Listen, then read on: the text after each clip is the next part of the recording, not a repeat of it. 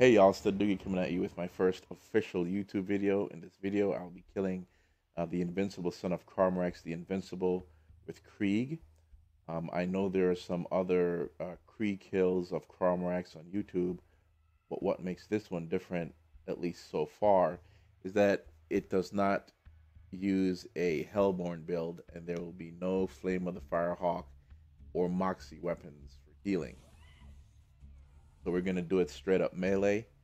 Um, the idea for this video came from a couple YouTubers, uh, Pokersheen and King Gothalion, where they posted some a video.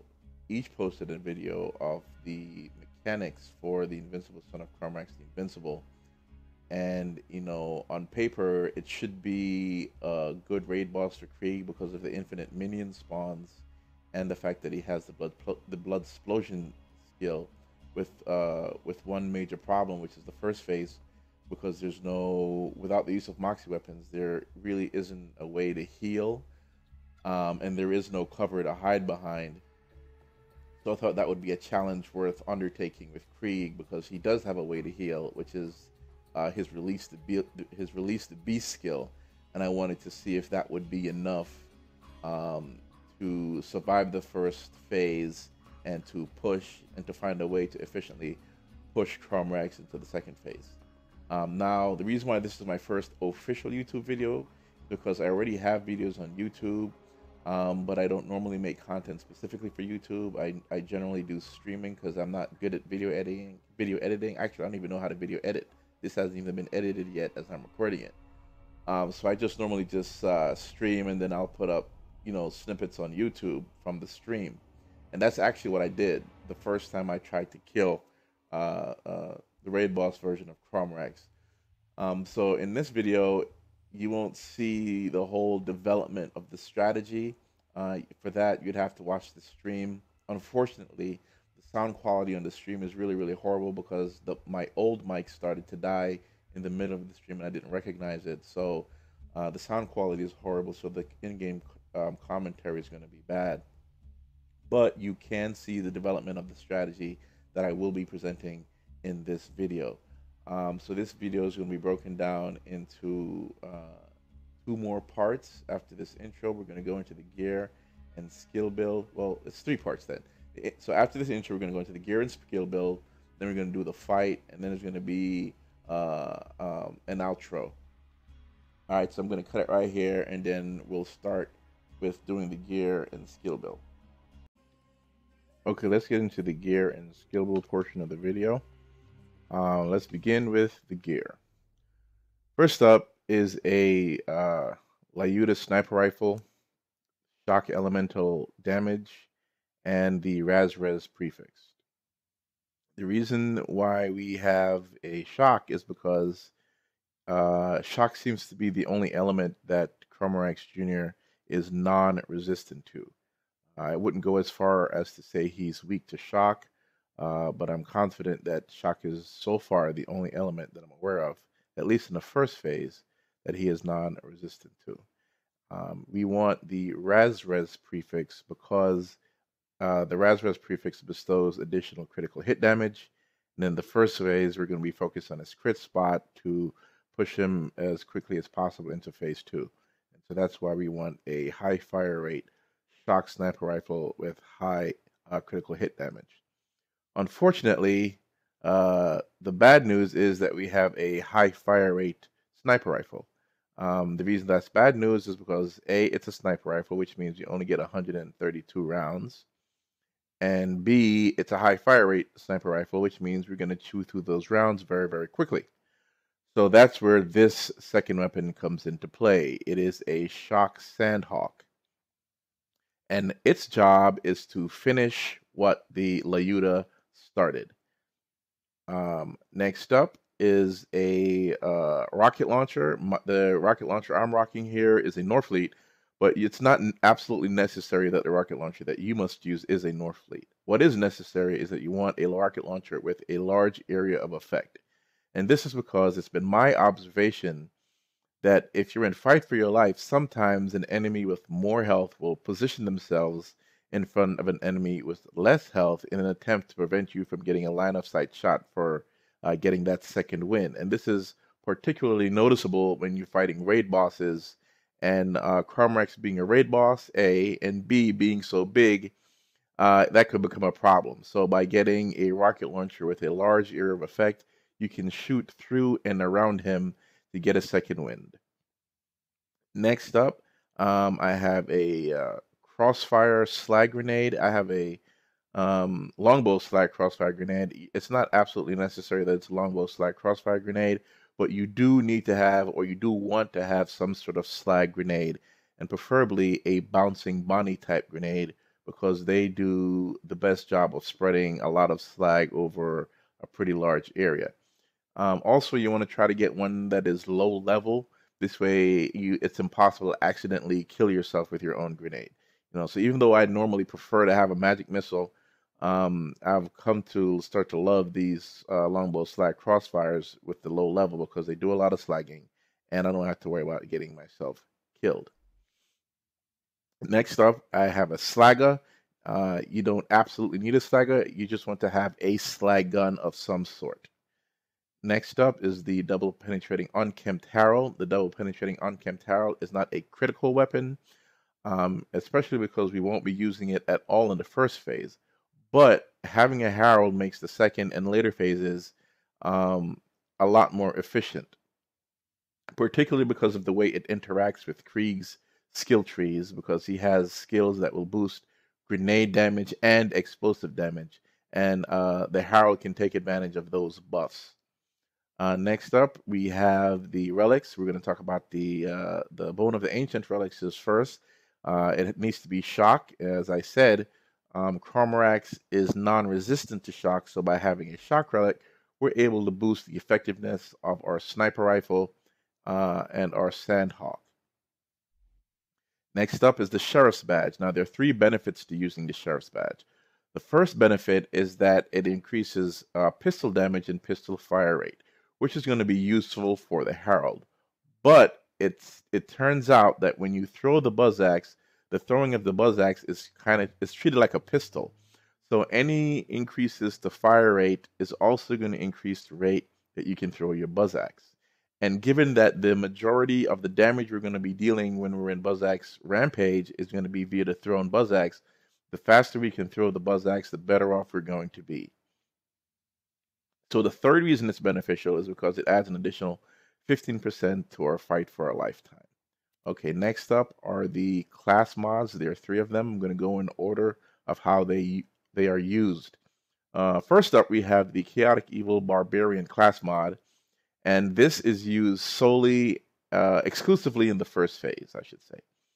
And uh, the reason why we, we have this class mod is to take advantage of its perks. And the perks that are important to us is the increase in critical hit damage of 53% and the increase to fire rate of 35%. Once the first phase is over, we'll never use this again. Now, the second and third class mods, these are the two sides of the same damage dealing coin. And the way we're going to be utilizing these two goes something like this. First up, we'll put on the uh, legendary Reaper class mod so we can take advantage of its uh, perk of 99% kill skill duration. Um, now, for Krieg, his kill skills are the ones that we're going to be using um, extensively. Their timer is about seven seconds. So, an additional 99% is going to add about 6.93 seconds to that timer. So, we're looking at about 13.93 seconds of kill skill duration, and we can just round it up to 14, which is a, basically a doubling. And so the way it works is we're going to put it on and we're going to find ourselves a low level enemy on the map, like a Varkid or a Craboid, and we're going to hit him with a, with a melee strike.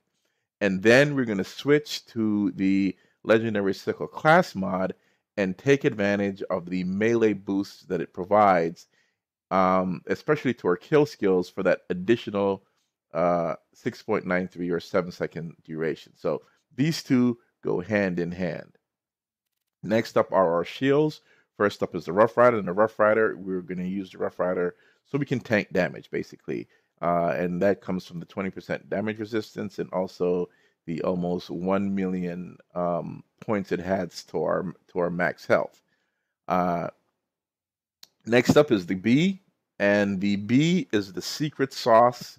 It is the it is the fuel that drives the first phase strategy because the additional amp damage that we're going to be pumping through the Lyuda and pumping through the Sandhawk is how we're able to efficiently get ourselves from the first to the second phase. Now, we can do this fight without the Bee, it's just going to take a heck of a lot longer. Now, I'm using the grounded variant, and the grounded variant is simply a precautionary, met- uh, precautionary measure. Uh, the way Crawmerax is built or put together is he seems to have two layers a blue skin layer and a shell plating layer. If you happen to shoot the shell plating, it will not do any damage to him, or it might do damage, I don't really know, but I do know that it will reflect the bullets back on you. And since we're using shock weapons, it means we can put a shock dot on ourselves. So by having a grounded bee, we reduce the probability that we're going to uh, put a shock dot on ourselves and get ourselves electrocuted. Okay, let's go into the uh, the skill build here. So we've got uh, one point into Buzzax Rampage to get the ball rolling, five points into Empty the Rage for melee, five points to Feed the meat for uh, max health so we can tank damage, five points into Embrace the Pain, and that's for the fire rate. And as I said before, fire rate increases affects the, the, the throw rate of the Buzzax. So that's why we're putting five points here. Five points into Strip the Flesh, and this is going to help our Harold with the additional bonus damage, especially if we're in Fight for Our Life. We get an additional 15% for a, for a total of 30% uh, bonus explosive damage. Next up, Redeem the Soul, one point there for uh, increasing your um, Fight for a Lifetimer. Five points in Salt the Wound for additional melee damage. Five points in uh, Silence the Voices to maximize melee damage. And one point in le- Release the Beast. This is absolutely critical because this is how we heal. Remember, in this fight, there are no Moxxi weapons. Um, so we the release the beast is how we're going to get our health back. Next up is blood filled guns, and that's strictly for stacking. Next up is taste of blood, five points there, so that we can tank damage. Next up is blood overdrive, five points there. Now this is a quirky little skill. Um, it's very rare that we're going to have the opportunity to uh, to use it in such a way where we can time exactly a bullet being fired uh, going into release the beast and being able to take advantage of the additional 250% melee damage it'll give us at 100 stacks. But what it is excellent for is if we can get a second wind with our Harold or any other gun that we have equipped, because at that particular point, we'll know that we're going to be in that 33% range and we can go directly into re- release the beast and take advantage of the 250% melee damage at 100 stacks. So this is a this is a second wind buff that we're going to try to take advantage of. Um, next up is Bloodbath, and uh, that uh, we may not get a lot of opportunity to take advantage of it because we're going to be spending a lot of time um, in Buzzax Rampage. But when we are firing our weapon, uh, it'll be great when this is proc because we can get an additional 250% um, gun damage. And since we will be wearing the Reaper Com for um, uh, for kill skill duration, it so happens that the Reaper Com adds an additional five points to this skill. So in the certain circumstances, we might be able to take advantage of an additional 500% uh, bullet damage at 100 stacks. Now, uh, next up is the Buzzax Bombardier and Fuel the Blood. Now, I put these together because they also are are the type of thing where they're two sides of the same coin. Uh, for Buzzax Bombardier, one point in here means that when you throw the Buzzax, it will now have grenade damage. The other flip side is with this kill skill, um, it boosts grenade damage. So basically, it boosts your throwing Buzzax. Um, so this is really these four right here are what the Reaper Com is all about. All about making sure that we're going to maximize the kill skill for Blood Overdrive, for Fuel the Blood, and Bloodbath, and being able to fully utilize the Fuel the Blood by throwing a grenade loaded uh, Buzzax. Next up is Boiling Blood, five points in that to keep our stacks up as long as possible, three points in Nervous Blood, and one point in Blood Explosion. Now I'm going to go right here real quick into my badass rank to show you that it is off. Okay, so that's it for gear and skill build. I'm going to cut it right here and I'm going to pick it up uh, just before the entrance to the arena for the fight. Hey, Austin Doogie coming at you. As you can see, I'm standing at the the beginning of the entrance to Crawmerax's lair. Uh, I'm going to go into my gear setup real quick so you can see what I have equipped or what needs to be equipped for the first phase of the fight. Um, there's the, the Bee, of course, for its amp damage, the Chaotic Evil Barbarian class mod for the critical hit damage and the fire rate increases, uh, the Bone of the Ancient Shock Relic, and the Longbow Slag. I have uh, all my weapon slots filled in here, but the only weapon we're actually going to be using is the Lyuda. Now, I don't know how this fight is going to turn out, so that brief little uh, intro that I did will probably remain the same, but what happens next in terms of editing might be different based on whether uh, I'm able to kill him the first time or or if it takes multiple times. So I'm going to put down the iridium so we can open the gate and I'm going to cut it here and we'll see how the fight goes based on what comes next. Hey folks, uh, Studdugie here again. Unfortunately, our first attempt was not successful. We're going to be doing it again. Um, the gear that we have equipped remains unchanged from the first attempt. Uh, the only difference between now and the first is we're going to be taking this escalator down to face him. And I probably won't uh, do in-game commentary. So here we go.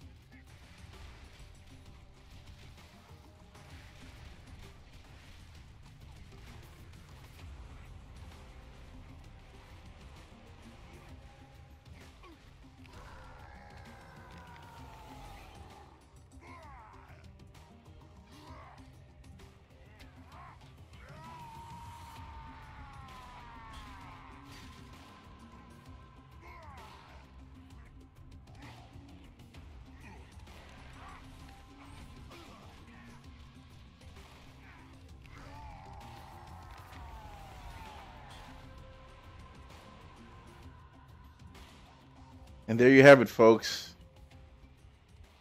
You can see for yourself, Crawmerax is dead. The strategy has been successful. Um, I'd like to give a special shout out to uh, two YouTubers, possibly three, Pokasheen and King Gothalion. It was their um, mechanics guide breakdown, or maybe it's mechanics breakdown guide videos that inspired me to uh, seek to find a way to kill Crawmerax without using Moxxi weapons. Um, I'd also like to say a special shout out to another YouTuber, Man of Low Moral Fiber, aka Luke, because he did a killer video which was an ugly kill. And uh, the normally the stuff he puts up like perfect kills, things like that, but he put up an ugly kill, and it was good. And I was like, you know what, my kill doesn't need to be perfect; it just needs to be a kill. So I'd like to say thank you for inspiring me to do it. But most importantly, I would like to say thank you for those of you who are watching. If you liked the video or you learned anything from it, I would appreciate if you would leave a like on it. Leave a like on it. I mean, um, I don't know how it's going to turn out because I haven't even edited it yet. I haven't even figured out what editing software to use. So I'm going to put in some work to try to make it halfway decent. So I'd appreciate if you liked it or you learned something from it that you leave a like on it. If you disliked it, go ahead and leave a dislike. Um, thank you so much for joining me on uh, the Studdugie Guide to Killing the Invincible Son of Crawmerax the Invincible with Krieg.